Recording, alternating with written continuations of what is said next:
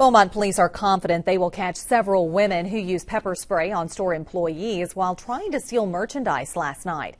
Police say five to seven women with bags were acting suspiciously last night at the Abercrombie and Fitch store in Parkdale Mall.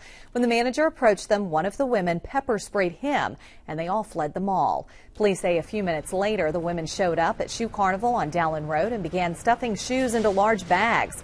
When the manager confronted them, one of the women used pepper spray on him and they ran from the store. Beaumont police say they are confident surveillance video will help them catch the women who could face aggravated robbery charges.